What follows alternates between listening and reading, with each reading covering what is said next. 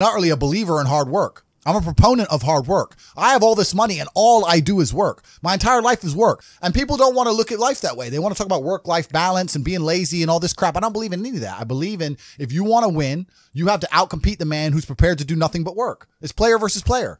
If you're going to sit there and go, I don't want to work more than an hour a day, well, the guy who does want to work more than an hour a day is going to beat you. And no matter how smart you are, there's always a smart dude who's doing the same smart work you are for more hours than you're doing it. That's just the nature of the game. Mm.